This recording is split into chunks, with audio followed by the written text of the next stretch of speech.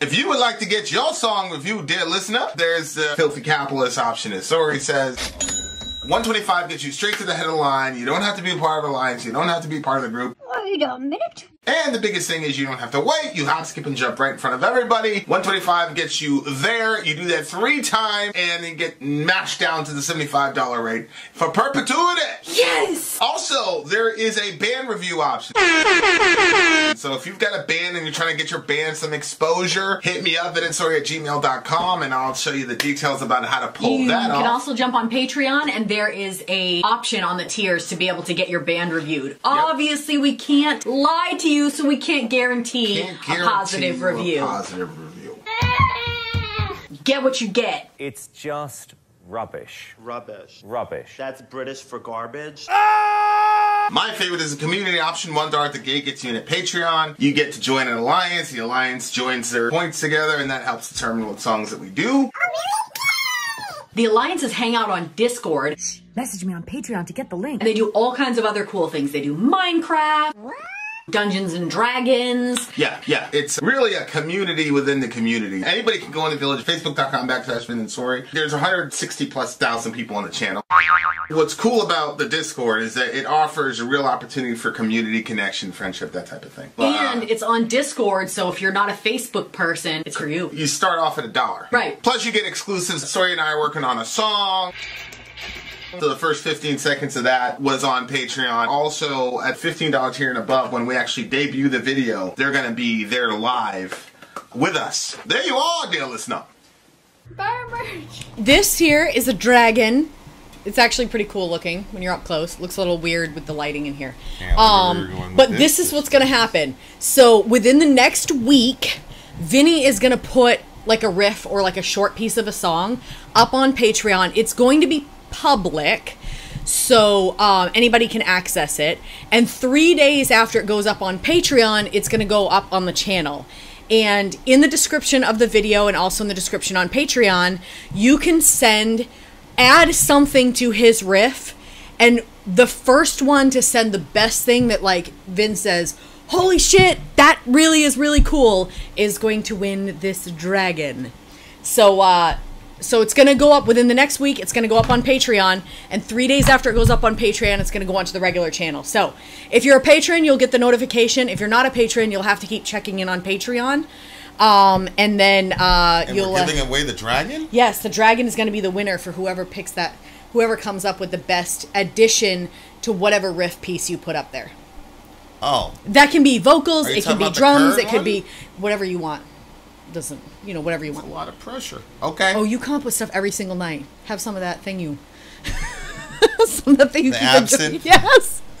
Yep. You, you'll, That come shit, up. is, that shit is real, bro. I came up with that shit literally. Like, I took a sip of that shit, then I sat And then down he sits down with the greatest thing I've ever come up with. Oh my. I'm like, I'm sick in the bed. I'm watching him. He takes a couple sips of this stuff. Smells like licorice, and then like he starts playing. I was like, oh my gosh, that was the most beautiful thing I've ever heard you create.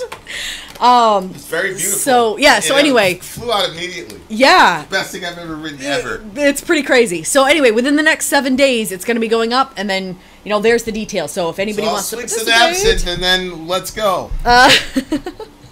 um, okay, and and I'm gonna Like I feel bad saying that because I don't like I don't want to promote, promote, alcohol. anything. Yeah, like, I know. but Well, you shouldn't do it if you have an alcohol problem. just never been. I've just I don't want to attribute it. Maybe it was a coincidence, but I've been listening to a lot of Neil Viscara, so Yeah, yeah, that's true. You have a lot. I can't, okay. I can't. You can't. I don't want to attribute it all to absinthe, but Okay, so up next, uh, this is the True Cult stream. And uh, if you're wondering where we stream, we stream on a channel called Vin and Sori Live. So there's that. Anyway, Eye of Solitude Act 3, He Who Willingly Suffers is the name of the song. Um, this song is longer than the usual limit of 10 minutes. Um, and what we do with songs like these behind the scenes is basically the, the Alliance, it takes up two of their picks because it's a longer song. So uh, have no fear if you have a song that's over 10 minutes and you want to get it reacted to there are ways to do so uh Kellendraw said that this is his pick. He was excited that this, Oh, this one won. Yep as he subbed them multiple times. This song in particular mixes traditional for traditional funeral doom, spoken word, and some heavy black metal tremolo picking with some lead guitar work that is atypical for this style. Uh, the lyrics are up on Trello, okay? The most interesting fact about this band, though, is that their main architect, Daniel Neagoe, has a whooping tw- a whopping 28 band credits to his name, 11 of which are currently bands? active.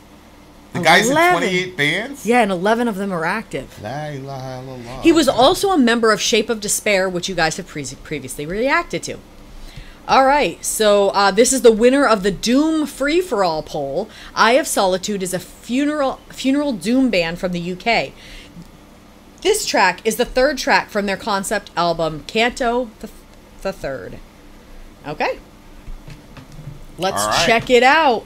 He who willingly suffers, which is interesting because of the song. We just finished just- the song on suffering. Yeah. The song that we just did. So there we go. Get ready to suffer. Get ready to suffer, losers. All right, he who willingly suffers. Let's go. Kill a draw. Don't leave me roll.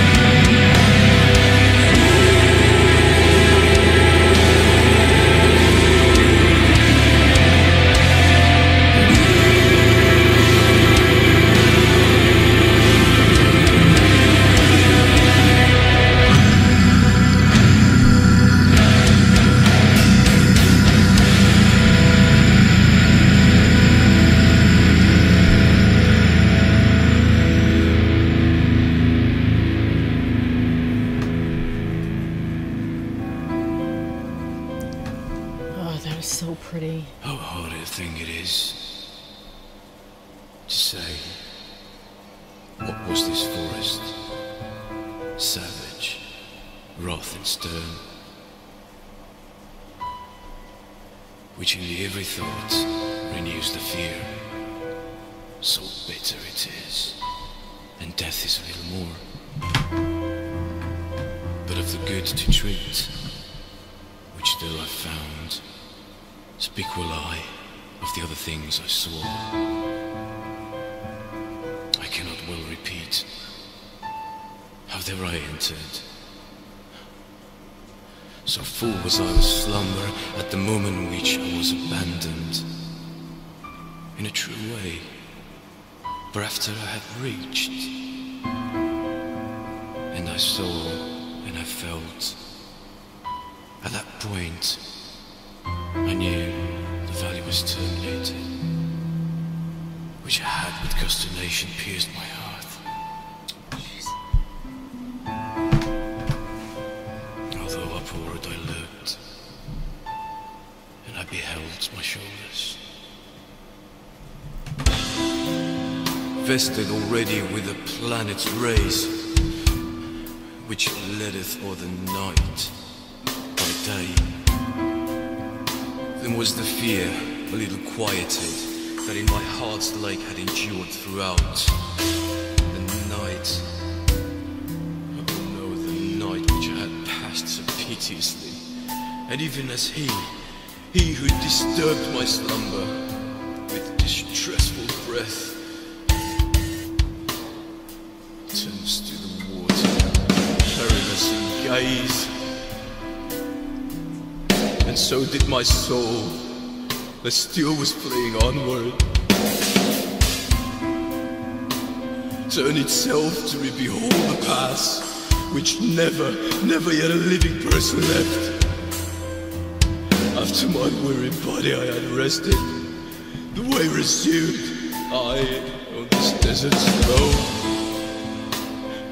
That the firm foot ever was the lower and lower and lower amongst the ice.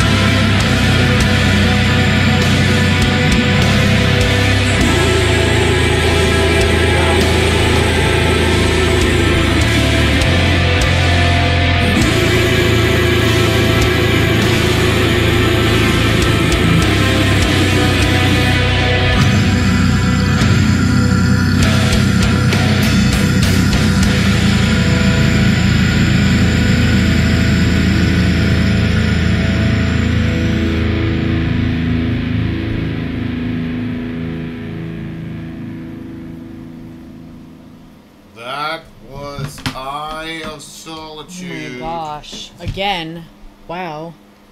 Hard to believe that song was long. It's 13 minutes. 13, 13 Yeah. minutes long. Yeah. Did you know that Kel plays? Kellen draws? Yeah, I never really paid attention to Yeah. who in the channel plays and who doesn't. yeah. Yeah. Kellen. Have you heard some of his stuff? Uh, I don't think so. He's never sent me any of his stuff. Well, you should send us some. Yeah, what are you? What are you? Uh, what are you into, Cal? You do the heavy shit? You do melodic? What do you do?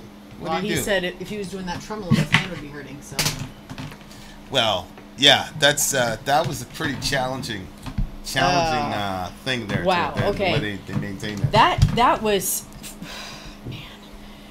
Um, that that's the sort of vocal style that when they're, when he was reading, the I couldn't believe how long the spoken word went on. I was so glad that it went on for so long. Yeah. I don't know. Like sometimes I'm interested in what the person is saying, and sometimes I'm interested in just feeling the spirit of what they're saying. And like that's how it felt like you just I was just like soaking in that feel, that vibe. yeah, I really. Um, And the music behind it at the beginning. we we talk a lot about this, about how privileged we are, but I'm really glad that we figured all this shit out for our channel. Like, Hmm, What do you mean? I'm just glad that we're not doing Metallica and, and Tool and, and Oh, well, no, I, I would love to still be able to do them as well.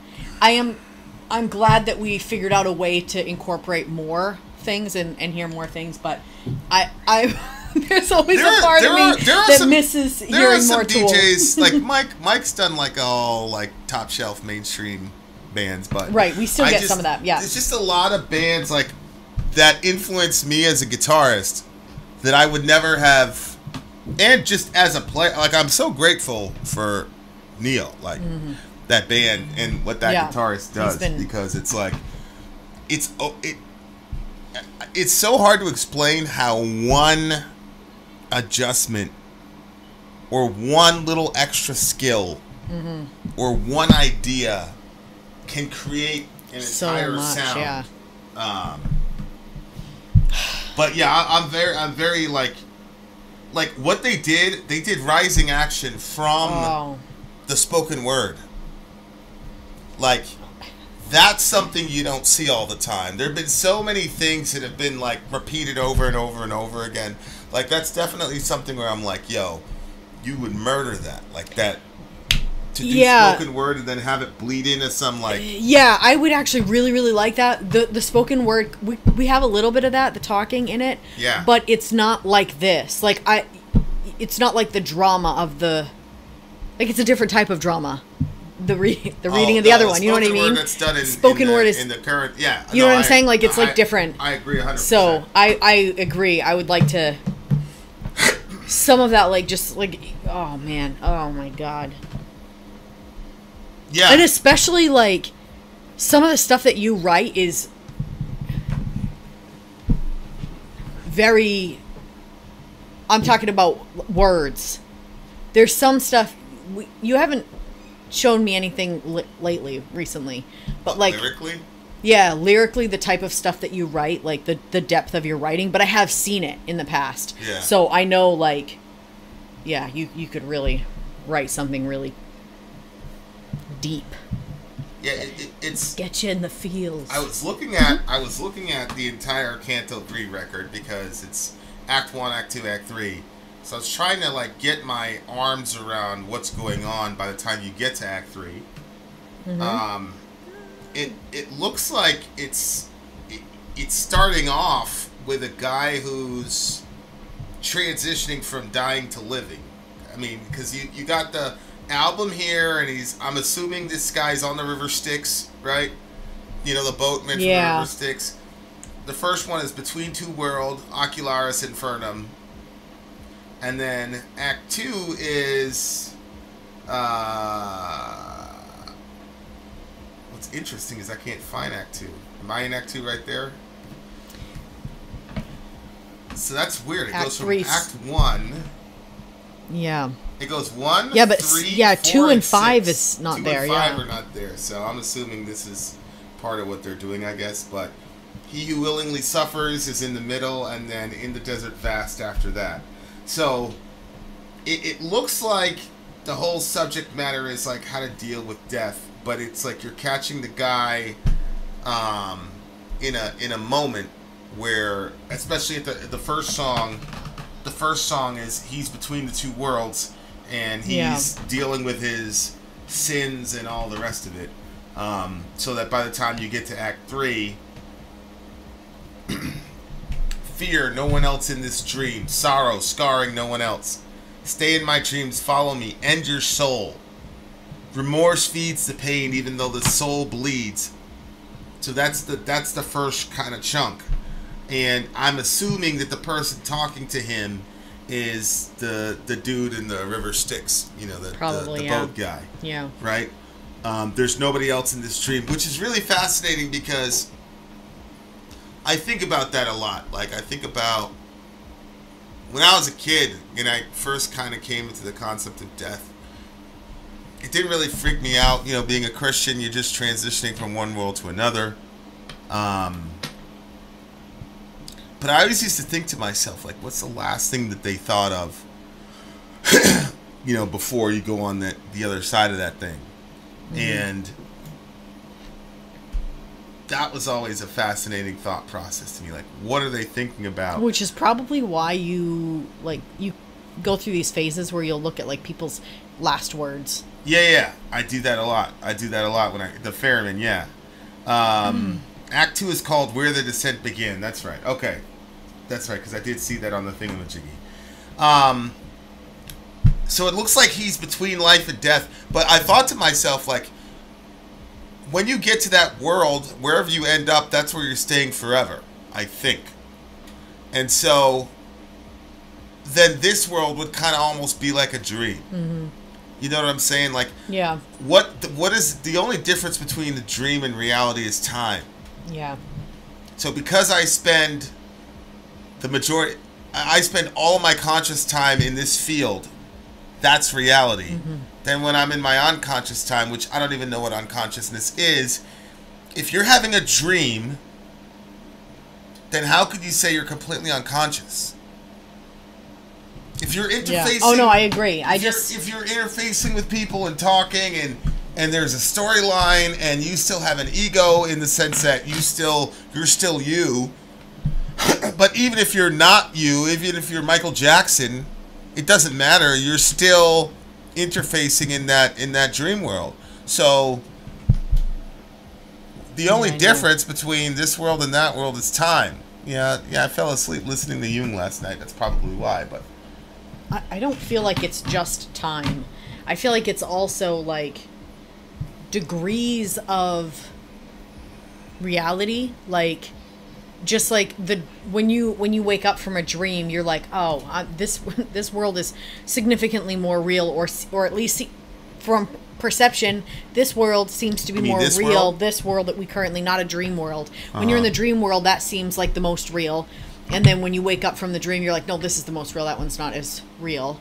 Because obviously again everything can always be questioned deeper and it can kind of flip you around. But like you know if i just had a dream and you were in my dream well you you you had no conscious but you you had no consciousness within my dream to make the decisions of what we were going to do in my dream like you acted the like yourself in that- my dream. The person that represented me in your dream wasn't actually me. What Right. you're calling me now. that's what i'm saying that's weird but yeah, But but there was a person in that dream that represented me. That wasn't me.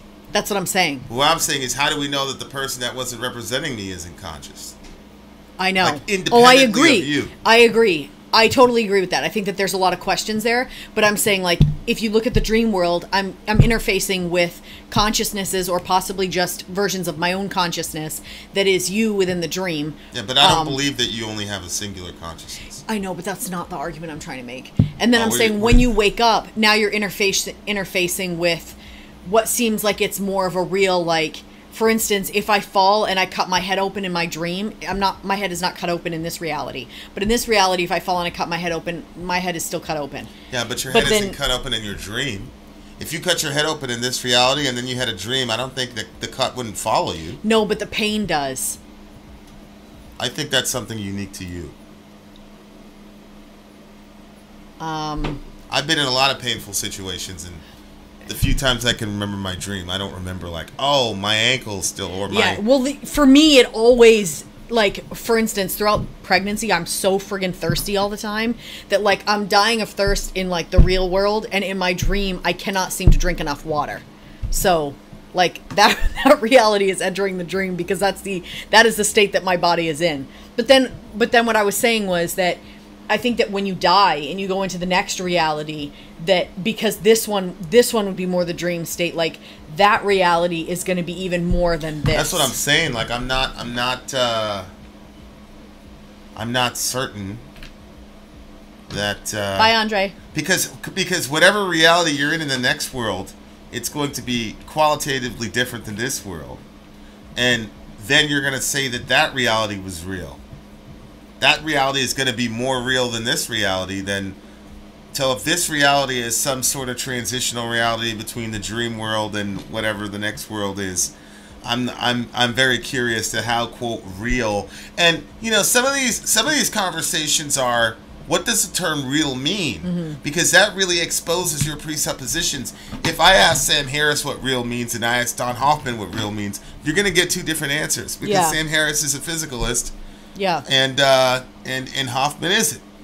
And so that's part of the issue that I have is uh, what are we calling what are we calling real in the first place? yeah Um, uh, because that would that would end up being what you think ultimate reality is. It's funny because like years ago, when I was part of that cult, somebody from that cult was basically th- they were th- well they were throwing around some ideas that probably they probably would have gotten in trouble for if if they they met the the leadership. But anyway, um, they were saying like that if you compare this reality to the next, and I've said this to you before, and actually I think that it was kind of depicted in one of the books that you were listening to. Um, they were saying like if you if you could jump on a bus and drive yourself to the to the reality that you'll be a part of after you die, and you were to step out with this body, even the grass itself from that reality would be so much more real than your body could handle that it would slice your feet. Yeah, it's basically C.S. Lewis in The Great Divorce. That was I knew it. Yeah, it was that something there that, was similar. kind of yeah, the, the, the idea. And maybe the person was reading that illegally. You couldn't read material that's outside why- of the approved list. that's that's why you know when you when you listen to ancient people talk about the other world and then you listen to modern scientists talk about multi-dimensional realities. And you know as stephen myers pointed out that um, the minute you say that there is a multiversal theory you are a supernaturalist.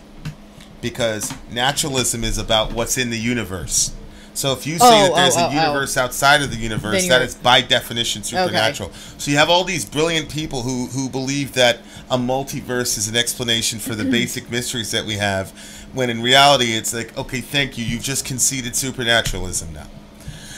So so my point is like Yeah, yeah. the, the our perceptions of of what you know it, and we look at death is like a transition so like in the song he's he, he's Yeah, fighting absolutely. and then, like he talks about being between worlds and things like that and because we're in a physical context in this particular slice of space-time we look at we use terms that physical people like transitioning going you know using locational yeah, terms Yeah. and instead of thinking to ourselves what if all of reality what if all of reality is all that is and what we're calling reality are just the limitations that have been placed on us for us to function so mm-hmm. what if death is not necessarily your consciousness going somewhere Yeah. versus a certain scale is removed from your eye and now you see you know let's say realities in all these like concentric kind of circles and so at death you you're you're able to look at a wider circle. So you're not mm-hmm. going anywhere. Yeah.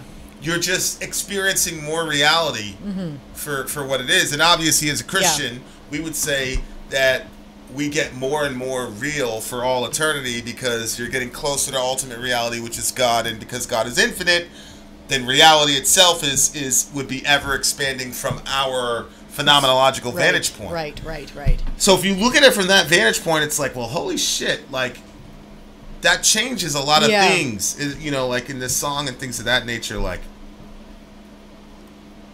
it's a very interesting thing. to No, to- why? to-. Why do you think that that? Why does that change things? Whether or not you believe that you're going somewhere, or Because that, that you means just we're already there. We just don't know it. oh yeah okay. And so, Well, I mean, we kind of subscribe to that already, like in ways as Christians. For instance, like there's a lot of people that don't believe that there's anything like a materialist doesn't believe in anything beyond what you can see and what you can feel. We, you know, we, there's there's Bible verses that say, um, "We wrestle not against flesh and blood, but against principalities and powers of darkness that." You know, wage against High us, places, and yeah, yeah, yeah, stuff like that. So there's that idea in Christianity that there is something right here where you are, you just don't see it.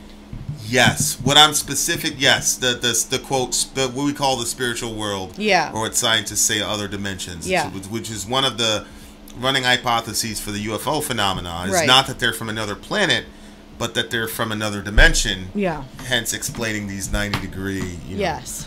Yeah, I, I agree to a degree, but but most Christians say when you die, when you most Christians say Negative when you vibes. Oh my gosh. when you die, you go to heaven or go to hell. Yeah, Those are locational, yeah, yeah. physical, physical statements. Right. Yeah, it is. Yeah. What I'm saying is that no, you don't go anywhere. You just reveal reality that you're already existing in. That that God has shielded from you because you know your purpose of this little slice of time is to explain for you to have an understanding of why you ended up where you ended up when reality actually comes you know to bear so it, it's more Mm-hmm. Yeah, of it's yeah. more yeah it's more of like you know if you look at this guy if you look at what he said you know because because uh, perk was talking about that so he says, How hard a thing is it to say, What was this for? Savaged, rough, and stern, which in every thought renews the fear. So bitter it is, that death is a little more. But of the good to treat, which there I found, speak will I of the other things I saw. I cannot well repeat how there I entered. Hmm. So he, he doesn't know necessarily how he got here yeah. and he's in this forest savaged and stern but when you go down more especially in the title of the other song the forest ends up as a desert at the end of it he's walking down these these desert tr- trails or whatever. Yeah, on the desert slope. yeah the way i resumed i on this desert slope so that the firm foot ever was the lower and lower and Above- lower above the rage. of above the death. rage of death so he starts off in a forest and the forest isn't idyllic necessarily because it's stern but at least it's a forest but he ends in in death. Um mm-hmm. which is a it's it's he ends up in a desert which symbolizes death which very much mirrors the christian understanding we start in the garden. And then by mm, the time yeah. jesus shows up he ends up in a desert or a wilderness however you want to translate that greek word. Mm-hmm. And so you go from this place that has ordered beauty life to a desert which is hot and you know treacherous and freezing at night and it's, it's just very very Lonely. um yeah very a, a lonely a lonely type feeling for sure but it, it's also like the effects of what we would say is christian sin on the world like you see the evidence of the curse Yeah.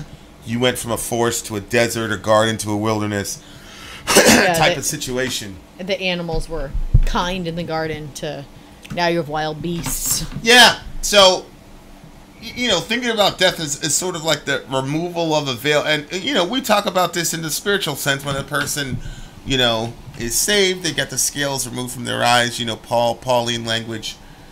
You weren't going anywhere, you were just aware of a new reality. And so when a person when a person dies, they're transitioning to that to that new reality. And obviously they get to see the other the other realistic side about death is that you finally get to see, especially from a Christian worldview, how your actions, words, thoughts truly affected people. Because right now, we're not seeing anything as it really is at all. Nothing. I, I, don't believe we're seeing anything as it actually is. So at death, there's that Yeah. mechanism where now you're you're you're open to, I believe, seeing things as it really were. How what you yeah. said really affected Yeah. a person. Because right now, Yeah. all we can do is is all we have is metaphor and uh, familiarity. So Mm. like if if if Johann is if Johann's eyes are watery or whatever, that's that's that that has a metaphorical import.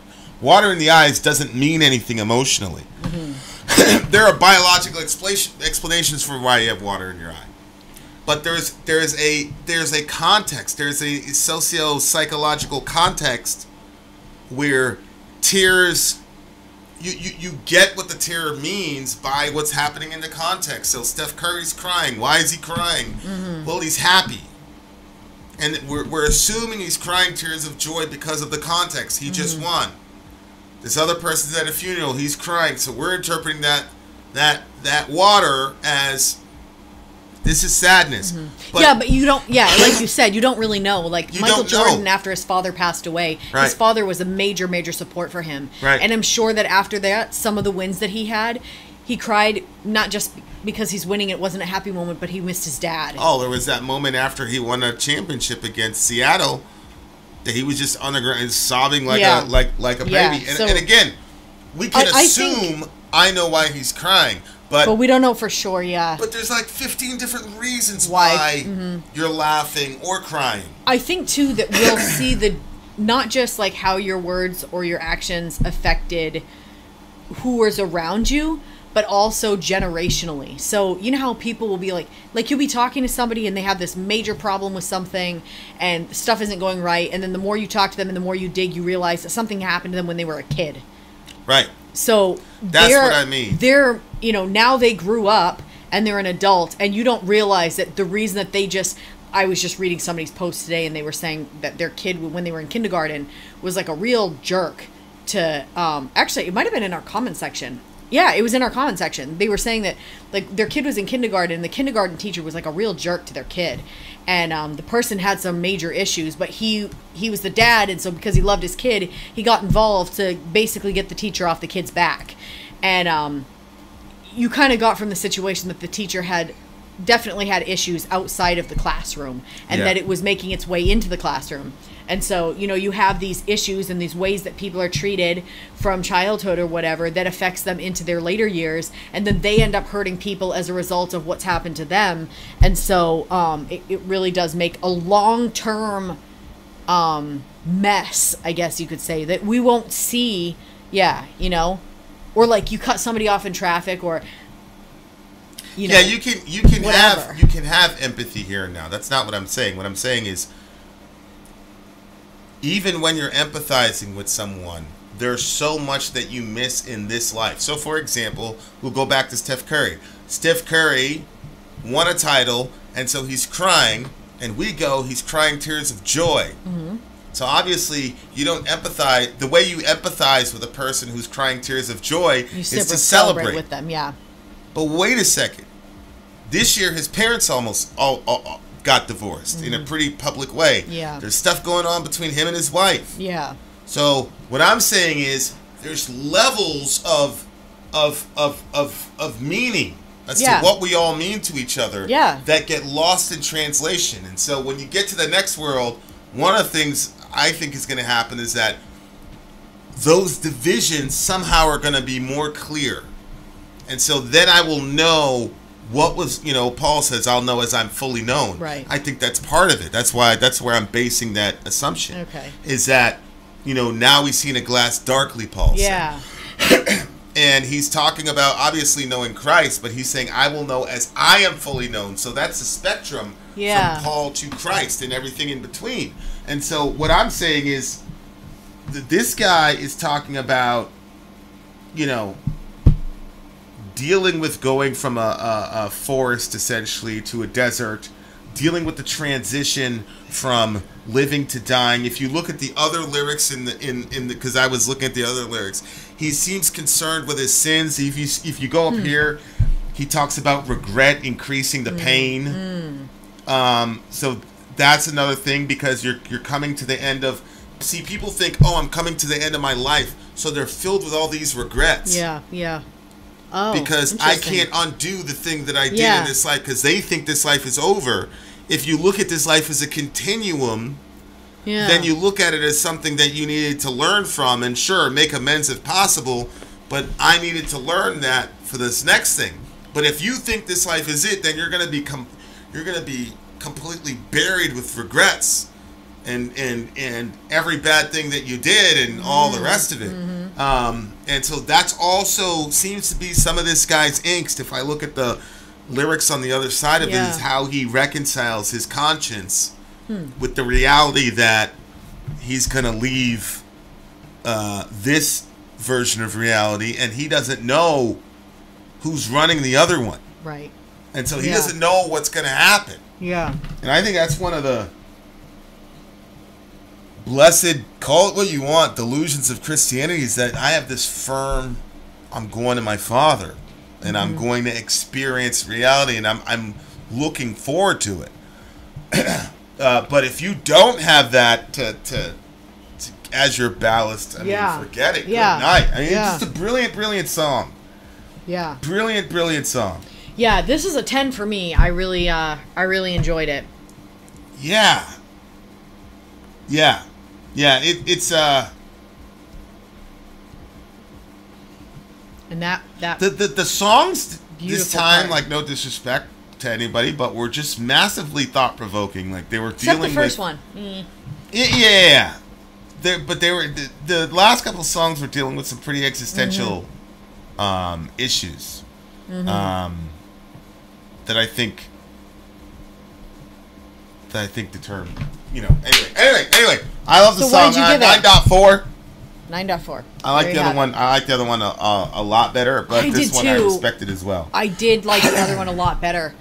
Um but I yeah, I'm I'm still going to I'm going to stick with my scores, but I I did like the other one a lot better. I actually when I said the score of 10, I was like, "Ugh, I didn't put a big enough gap because I liked the other one so much." But I really really did like the instrumental part, like what was going on behind all Yes. this. It was absolutely beautiful. Yes. And I'd like to get the instrumental part and, you know, do my own thing with that. I thought that was really cool. So, very Yeah. inspirational.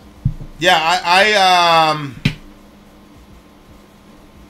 Yeah, Dad, this was a such a that that rising action part from the spoken word to me is like, of course. But nobody's I we've listened to thousands of songs. It's the first time I've ever heard that. and it's definitely something I'm gonna steal, for sure. Uh, all right, all right. Steal inspiration from, he means. uh, I steal.